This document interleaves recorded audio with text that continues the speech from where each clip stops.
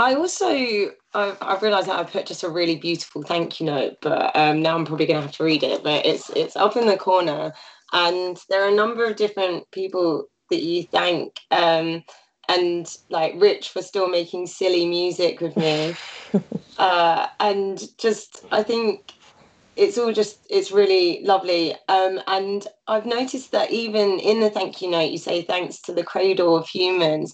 And i think there's actually maybe two songs in here that you use the word sort of cradle. Does, very does good that, listening. it, it's kind of like I, I was just it just made me think like it's more intimate than a hug almost or perhaps kind of more I don't know what what what is it about the word cradle and for you? It's so well observed. That's crazy.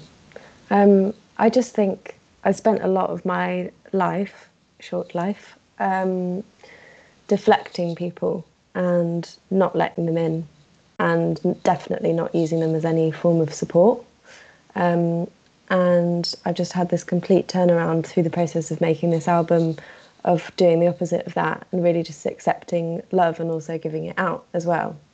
And I just think the image of a cradle is so kind of infantile and back to square one, and you're completely vulnerable in that position.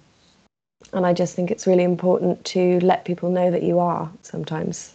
Um, and, you know, I say this every day, but I still don't know what I'm doing. And all of these things, every musician is always just trying to do the right thing and just seeing how it goes. So I just thought it was important to um, get that feeling across.